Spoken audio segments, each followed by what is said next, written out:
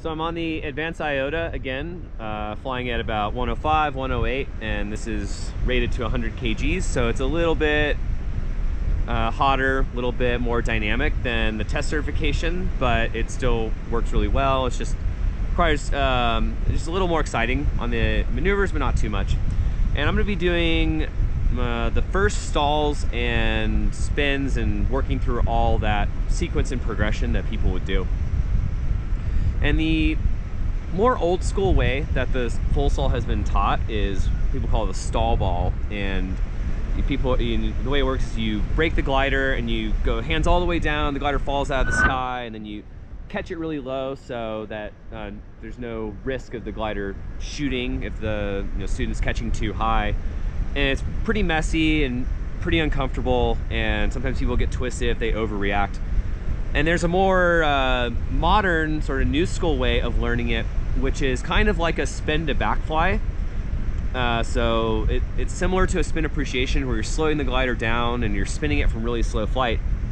The difference is you're gonna be flying so slow that your hands are already at the back fly position. What the back fly position is, is uh, once you get stable in a controlled, stalled configuration, the glider has these sort of backwards looking big ears that face forward and the trailing edge is open. You're actually flying backwards with a uh, significant amount of airspeed, probably not far from your normal trim speed. And that back flight position is probably gonna be about here. And there's a range for it. If you go a little higher, the ears get smaller and the glider's more open, but it's a little more unstable. It kind of wants to start flying again.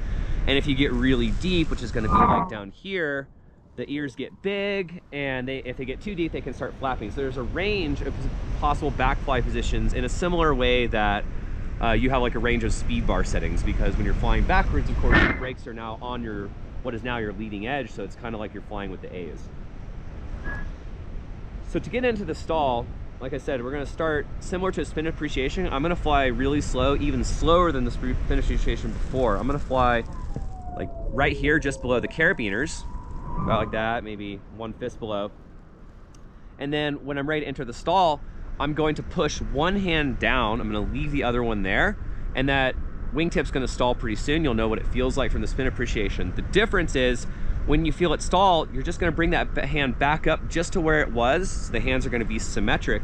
And because they're so deep after the glider turns about 90 or 180 degrees, the other side's gonna stall too, and you're gonna be right at the back fly position. Once I'm in the back fly position and it stopped moving on me, I may have to wait a second or two for, uh, for it to stabilize. I'm gonna start exploring the range of how deep can I go before uh, the trailing edge starts getting pulsy and kind of violent. And then I'm gonna slowly go up higher and higher and find how much can I go before it gets really smooth and wants to restart. And uh, when I want to restart, I'm gonna be flying about here, so, and then I'm going to release in a two-step movement. The first step is going to allow the glider to come forward, open up those reverse big ears a little bit. And then the second stage, I'm gonna let it go all the way. So the glider's gonna fly out in front, and when I release when it's in front of me, it doesn't shoot. So in real time, it's gonna look kind of like this, and then that. So I'm in a pretty good spot to try that first uh, style stall that I just described. So I'm gonna slow the glider down. I'm gonna be flying really, really slow. I'm gonna look up at the glider and I'm flying very slow carabiner. I'm gonna go down and I'm gonna come back up. And I'm just gonna wait. It's a little crashy, so I need to come up just a touch to stabilize. I'm gonna go a little higher. You can see now I'm in a perfect back fly. It's really controlled. I can feel the wind on my face.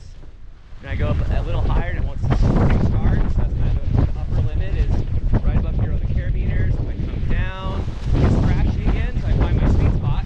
I'm gonna get really stable again. And when I want to exit, I get the gears nice and small. I come up a little bit, and I come up the rest, and I don't have to check anything. And that's a really nice way to enter the stall. It's not too violent. It doesn't have this big drop back thing. Uh, you can be really confident that all you need to do is just bring that one hand down, see it start to stall, and then come back up and freeze. So once you spend some time doing a couple of those, and I'll do one more just to practice, I'll do the other side. So I'm gonna slow way down, wait, kill most of my airspeed, spin it, come back up and just wait. Then come back a little more until it stabilizes, find that sweet spot, and let it forward and fly.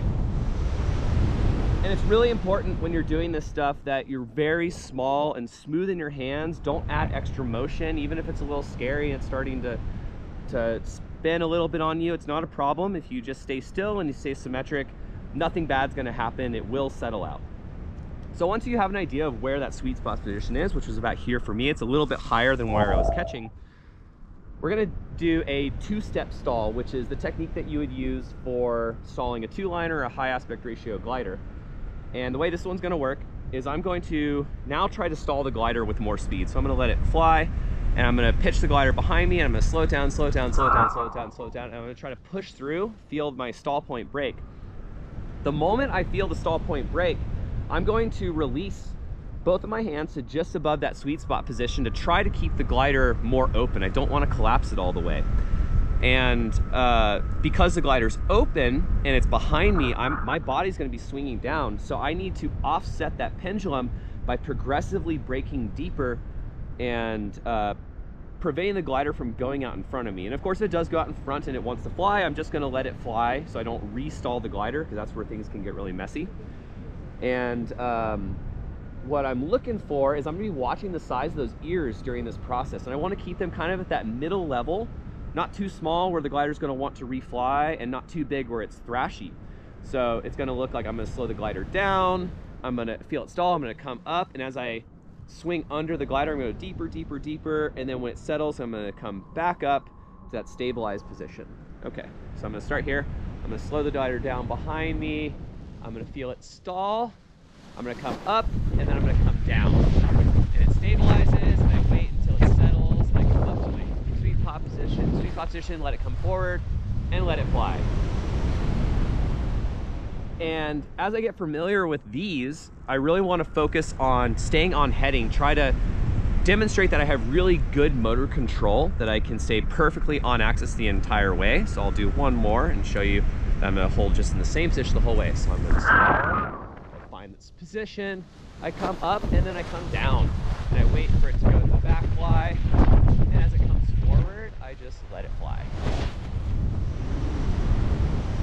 So once I get really good at that, and it's consistent, and I kind of understand the motion, and I have the idea of coming up and coming down and making sure the glider doesn't overshoot. And actually, uh, I'm gonna show you what it looks like if it does overshoot If you uh, don't come down enough and it wants to refly, it'll be uh, kind of like a snap stall. So I'm gonna do, I'm gonna show you that example. So if I come up and I don't come down enough, the glider comes forward and I'm just gonna let it fly right away. Um, you know, because I have some brake, it's not gonna shoot so hard. I'm not gonna fall in the glider or anything scary like that. But the goal of this exercise is to get used to the back fly, get used to being really comfortable in it. So then, um, you know, once you're really good at it, the final stage is I'm actually gonna release almost all the way up and I'm gonna let the glider open. This is really what you're gonna need for a high aspect ratio glider that's gonna bend a lot. So it's the same idea as the last uh, example. I'm just gonna release really high and then I'm gonna come and catch. So I'm gonna, I'm gonna come up pretty much all the way and then come back down. And then really nice and open and I let it restart.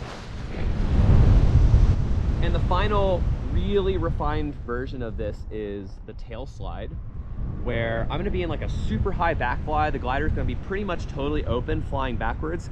And it's more of a style point thing, but it just it shows that you have real mastery of the maneuver.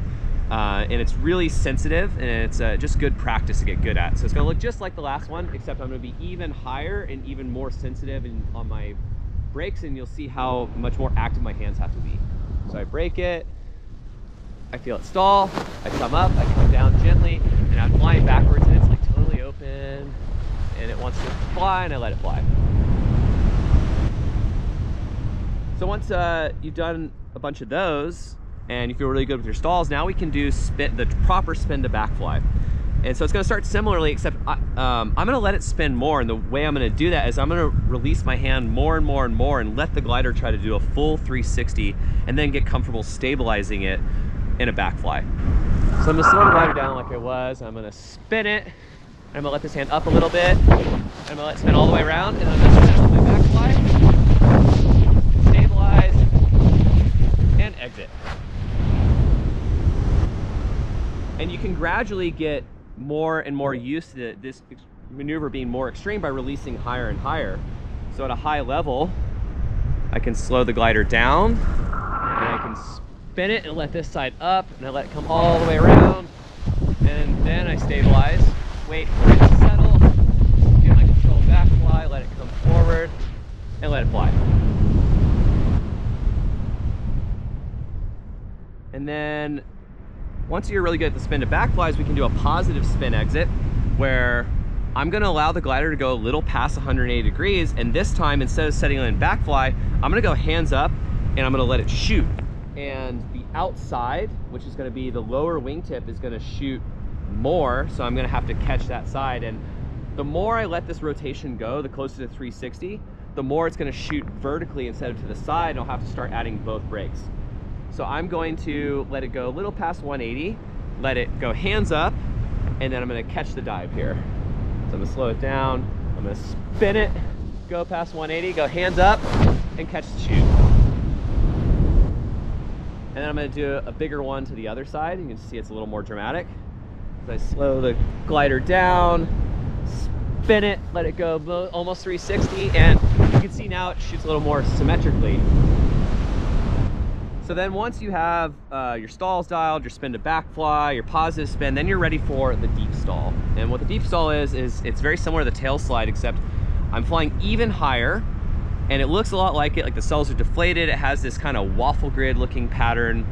Uh, but the difference is I'm descending totally vertically. It's a very sensitive, very unstable maneuver. The glider doesn't want to be there. I'm gonna have to add all these active corrections.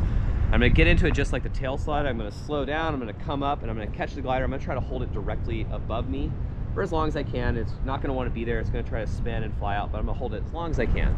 So I'm gonna come and brake. Feel the glider just start to stall a little bit. I come up and I catch it. And you can see sitting perfectly vertically. I have no wind in my face. It to spin a little. And then to exit, I just go hands up and let it recover. So those are all of your um, basic stall maneuvers. Uh, it does take people quite some time to work through all of them. You know, you need lots of practice at each stage. Uh, but you know, you're, what you're looking for is consistency and comfort in the maneuver, and that you can kind of work your way gradually up uh, through the intensity before going on to the next one. And you hear a lot about this, like 100 stalls, 300 stalls, all this stuff, and it's not about the numbers so much as it's about gaining comfort with all those steps. And I would say for the average person, yes, it probably does take somewhere between one and 300 attempts to go through all of them. But if you really focus on going through all those maneuvers and learning them well and understanding the nuances and the details, uh, you're gonna have way more experience and way more confidence in your glider than if you just do uh, you know, 300 stall balls and scare yourself and thrash your glider. So hope that helps, hope uh, that inspires people and gives them confidence to try some of these new techniques out, and I'll see you next time.